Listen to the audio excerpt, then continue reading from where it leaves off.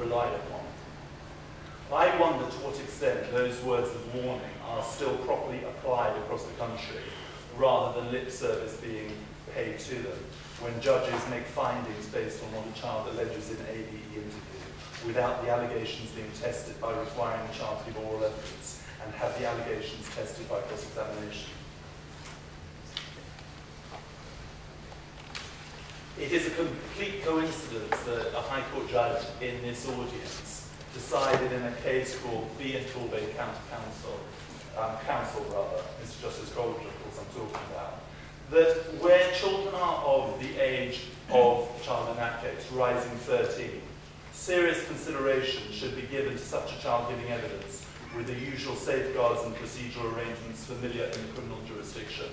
And I'm sure he won't mind me saying that that was the case which then was considered in the Court of Appeal, and the Court of Appeal said, no, that is the wrong approach. It is an exceptional situation when a child gives evidence. But again, I hope Paul won't mind me referring to what he said in that case, which to me is a chilling warning of what can go wrong. Some of you will remember that the facts of that case um, were as follows. A 13-year-old made allegations of sexual abuse. As a result of that, he was removed from his family. He was placed in foster care and a care order was made. Three or four years later, he told everyone that they were false allegations, and the judge heard that evidence, heard from the young person, and concluded that they were false allegations.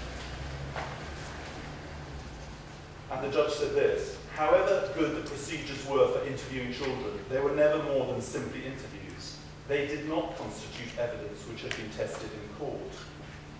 Proper investigation by such testing could cast full light on allegations of present time and their context.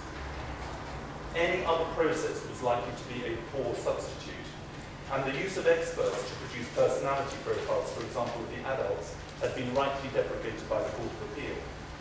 Even evidence from psychologists as to the veracity of the child's video evidence can tend to give an undue credibility to it. The judge was the best arbiter, and he or she needed, where possible, to hear the child. There was no substitute for live evidence.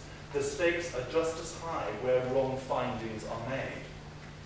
They may not lead to false imprisonment, but the effects on the life, on the lives and development of the child and the other children in the family who may be wrongly removed from foster care are frankly not much less draconian.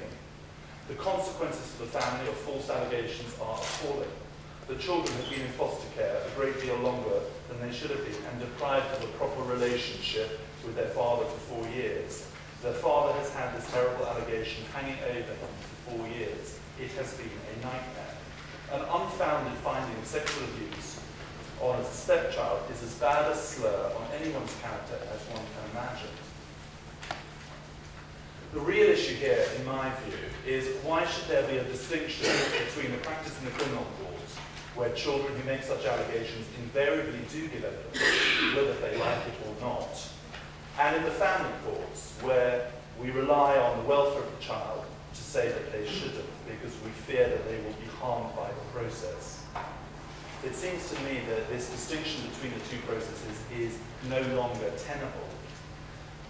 The allegations that children are making have huge consequences in family proceedings. The consequences, in my view, I'm sure you would agree with me, are equally um, significant, if not more so. Now that we don't have capital punishment, the deprivation of liberty for three or five years for someone who is uh, convicted of sexual abuse in my view, pales into insignificance compared to losing contact with your child forever and that child being adopted. Yet the family justice system, in my view, seems too willing to allow such evidence to remain untested, despite the fact that psychiatrists specializing in the field will say that older children, and I'm really looking at teenagers in this talk, that older children can be very convincing liars is the basis for the distinction, namely the family court's paramount consideration being welfare of the child rather than the interests of justice, a sufficient basis, I ask. Is there sufficient and reliable research to say that the harm caused by giving evidence outweighs that of living with a false allegation? Moreover, can it really be said that it is in the best interest of the child for a vital decision about the child's life whether, for example, to be returned to the care of his parents, or whether to have contact with a parent, or even more simply, whether to be henceforth treated as an abused child, to be made on the basis of not the best evidence, in other words, untested evidence. These issues are invariably of great importance to the child's welfare, and does not the child's welfare demand that this evidence should be heard and tested so that the judge can make the right decision on the best evidence? Thank you very much.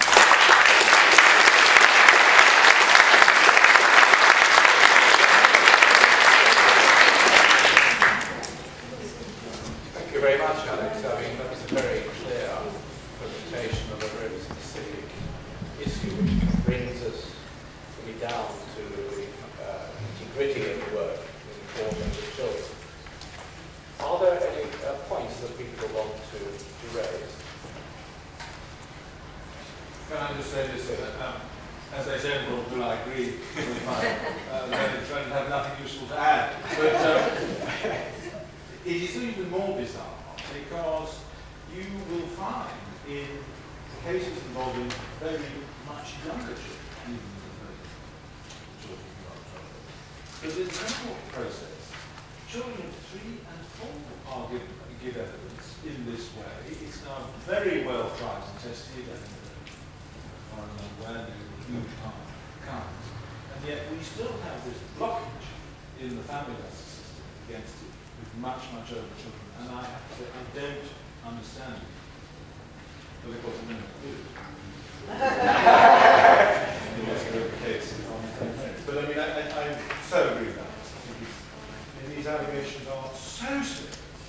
And so often, even if they're not, uh, even if they're not wholly untrue, they're partially untrue. And so you can end up having heard the evidence in a freshly, and actually you find that it's not quite, it, there may have been abuse, but it may not have been in the, in the way that it is suggested in the video interview. It may be that it's been, had a gloss put on it, and it's only by hearing it that you really uh, can make Yeah, I mean, naive, naive of us to think that lessons don't lie. It's almost uh, definition of time. For those of us who have uh, a parent. Um, but the question is, I suppose, when is it fantasy? When is it actually lying? When is it real confusion as a result of the kind of deprivation they've often experienced anyway? So it, it, it can be really quite difficult to, to declare. Yeah.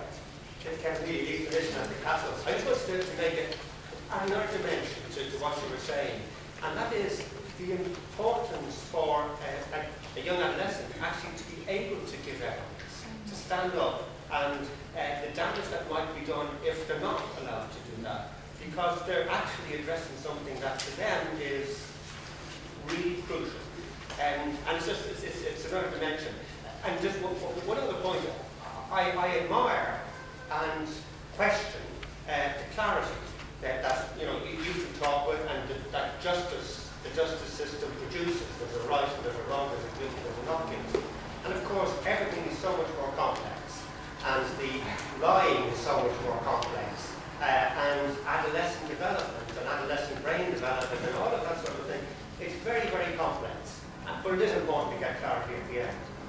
Could we have some research evidence that it would be helpful for teenagers to give evidence and see the process through and take responsibility for making the allegations? Because in a non-court context, for example, a school context, if children make allegations and say something, normally there's a process which is followed through. You can't just make allegations, you have to be responsible for them. And I think it would be very helpful to have research evidence to show that really it could benefit them to go through this process. One more point? Yeah. I'm, I'm Gary Wallen, I'm a child and adolescent psychiatrist, so more of a legalistic uh, background in this. But just make two points very quickly. I think the first one is that if allegations are indeed false, that still may well be a sign of a child who's distressed. And simply because the allegation